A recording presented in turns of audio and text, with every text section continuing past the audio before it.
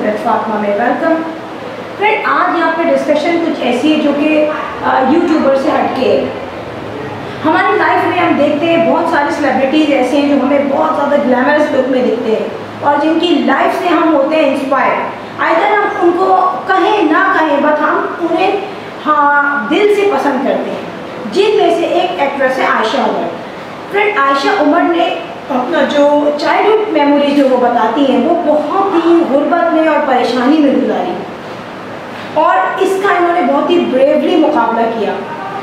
इसी तरीके से आज जिस स्टेज पे और जिस प्रॉब्लमेटिक सिचुएशन में आशा उमर है, वहाँ पे भी वो एक ब्रेव लेडी का कैरेक्टर अदा कर रही है। जी फ्रेंड आयशा उमर जिसने अभी एक बहुत टॉप रेटेड फ़िल्म थी उनकी टेक्साली गेट जिसमें उन्होंने एक प्रोसिक्यूट का कैरेक्टर अदा किया था और जैसा भी कैरेक्टर था, मगर उन्होंने बहुत ही पावरफुल परफॉर्मेंस दी थी नो डाउट कुछ लोगों ने नेगेटिव रिमार्क्स दिए बट ज़ाहिर सी बात है, जो कैरेक्टर एक कंट्री में है, जिसकी एक रियलिटी है, उसको परफॉर्म करने में कोई गलत नहीं है बीइंग एन एक्ट्रेस फ्रेंड अब क्या सिचुएशन है? सिचुएशन ये है कि ये आयशा उमर का हुआ है एक ख़तरनाक सा ऑपरेशन और फ्रेंड ये हुआ क्यों? ये सर्जरी जो है ऐसी खामोशी से हुई है जो रमज़ान में सब बिज़ी हैं सहरी इफ्तारी, ईद की प्रिपरेशन मीन वाइल सेलिब्रिटीज़ में भी इतना सब कुछ नहीं पता था कि सडनली क्या हुआ है। बट जब इस चीज़ को आयशा उमर ने एक पोस्ट की, जिस पे उन्होंने अपनी सर्जरी का बताया, बल्कि वो इस वक्त हॉस्पिटल में एडमिट है और इस सर्जरी का आयशा उमर ने एक इंटरव्यू में टेक्साली गेट का जब इंटरव्यू हो रहा था, उन्होंने कहा कि जब उनका एक्सीडेंट हुआ था आज से तकरीबन आठ साल पहले तो वहाँ उनकी शोल्डर की बोन जो थी उसमें क्रैक आ गया था। अब उस वक्त आयशा उमर ने आ, सर्जरी से बची हो क्योंकि ज़ाहिर सी बात है एडवर्टाइजमेंट्स हैं और शोबज में लिंक है कैटवॉक्स है मॉडलिंग है। मगर अब आयशा उमर ने ये सोचा था कि उनको ये सर्जरी करा लेनी चाहिए क्योंकि उनके शोल्डर में जो है पेन होता था। अच्छा आयशा उमर ने ये कहा था कि मैं सर्जरी करवाऊँगी बट उन्होंने इतनी जल्दी जो है सर्जरी करवाई थी कि इससे पहले किसी की नॉलेज में नहीं था। अब हुआ ये कि जब सर्जरी हो गई तो उनकी शोल्डर में उनकी पैल्विक का कोई हिस्सा है जहाँ की बोन लगी है।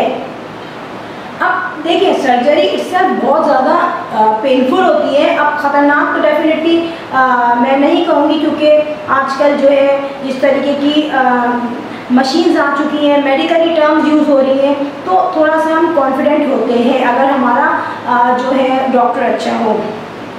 तो इमरान शाह, जो डॉक्टर शाह के बेटे हैं, उन्होंने किया है उसका ऑपरेशन अब यहाँ पे मैं देखूँ कि आशा उमर की सर्जरी का थर्ड डे था।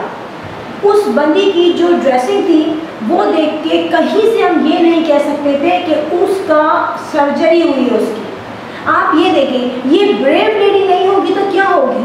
क्योंकि हम लोग जो है ना, थोड़ा सा भी कुछ हमें थोड़ा सी प्रॉब्लम होती है, तकलीफ़ होती है तो हम डेफिनेटली एक हद तक मुकाबला करते हैं, लेकिन हम किसी से कह बैठते हैं और हम जब कहते हैं तो उसमें हमारे अंदर कोई बनावट नहीं होती। मगर आयशा उमर हॉस्पिटल में एडमिट होने के बाद भी बाकायदा इतनी फ्रेश लग रही है वो लड़की के लग नहीं रहा कि उसकी सर्जरी हुई है। तो ये भी एक पॉजिटिव पॉइंट है आयशा उमर का। कि जिसमें उन्होंने अपने आप को इतना ज़्यादा मेंटेन किया हुआ है कि हम उसकी तकलीफ़ को नहीं रीड कर पा रहे। मगर फ्रेंड आयशा उमर ने कहा कि वो इतने पेन में डेफिनेटली यार ऑपरेट हुआ हुआ है शोल्डर का भी ऑपरेशन हुआ हुआ है पैल्विक से भी बोन निकली है तो नो डाउट बियॉन्ड अंडरस्टैंड तकलीफ़ होती है और जिसको होती है ये वही जानता है।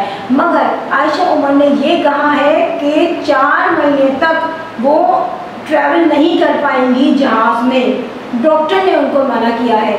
और ज़ाहिर सी बात है, जब यहाँ पे एक दोनों तरफ़ का ऑपरेशन हुआ है तो जो बोन है, उसको ज्वाइन होने में भी टाइम लगेगा और परफेक्ट होने में टाइम लगेगा।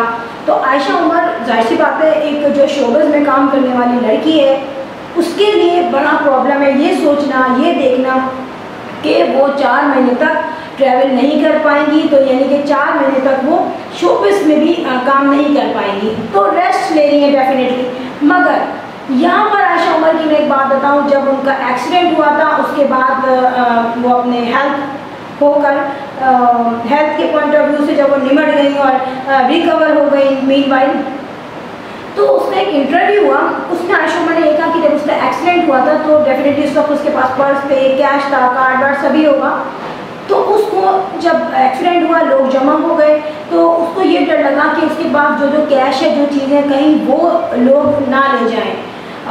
बड़ी अजीब सी बात है, क्योंकि अल्लाह माफ़ करे, कहना नहीं चाहिए, मगर जब ऐसी सिचुएशन होती है तो इंसान को उस वक्त अपनी तकलीफ़ और अल्लाह, वो दोनों याद आ रहे होते हैं। मगर मे भी पॉसिबल किसी की इनकम है तो वो उसकी मेहनत के बाद ही उसको मिलती है। और डेफिनेटली जिसने स्ट्रगल की होती है अगर वो किसी भी लाइन में हो फ़िल्म एक्ट्रेस हो स्पोर्ट्स में हो कैट वॉक में हो शोबिस से लिंक हो, मगर डेफिनेटली उसकी अगर मेहनत के बाद इनकम मिलती है तो उसको ख्याल रहता है। तो दोनों पॉइंट इंपॉर्टेंट हैं। एनी हाउ यहाँ पर आयशा उमर जो है, अपनी लाइफ में अभी भी बहुत होपफुल है। डेफिनेटली होना भी चाहिए। और आयशा उमर जो है, ये सोच रही है कि जब वो दोबारा से परफेक्ट हो जाएँगी हेल्थ उनकी पूरी सही हो जाएगी और रिकवरी हो जाएगी अच्छी तरह, उसके बाद वो शोबस में काम करेंगी। मीन वाइल आयशा उमर ने अपने लिए कुछ ऐसे प्लान सोचे हैं। जब वो घर आ जाएँगी तो वो वो प्लान्स करेंगी। क्या मतलब? कुछ प्रोग्राम्स दिखेंगी वो, और कहीं ना कहीं वो थोड़ा सा मेकअप पे रिसर्च करेंगी, और मैगजीन्स है इंटरनेट है, इस चीज़ पर टाइम गुजारेंगी। मगर इन जो टाइम है, चार महीने का टाइम है, इनमें वो ऐसे ऐसे प्रोजेक्ट अपने माइंड में सोच के बैठी हैं कि जैसे ही वो रिकवर कर जाएँगी, फ़ौरन इस प्रोजेक्ट पे काम करेंगी। फ्रेंड यहाँ पर आयशा उमर ने सबसे कहा है कि उनके लिए दुआ की जाए और हम भी होपफुल हैं। आयशा उमर जल्दी से सही होके अगेन शोबिस में आएँगी, मगर एक बात और है, इसी साल आयशा उमर की शादी भी हो जाएगी और मे भी पॉसिबल वो बंदा टर्किश हो या फिर फॉरनर हो, मगर आयशा उमर अपनी शादी के बाद पाकिस्तान में नहीं रहेंगी। सो होपफुल है कि वो भी कोई चैनल बना ले या फिर शोबिस को तो वो बाय बाय कह ही देंगी। लेट्स सी ये कब होता है और होगा तो इसी एयर में किस मंथ होगा, ये वो बेटर जाती है। फ्रेंड वीडियो अच्छी लगी हो तो बेल आइकन पे हिट कर दीजिएगा। I will see next blog till then अल्लाह हाफिज़ बाय बाय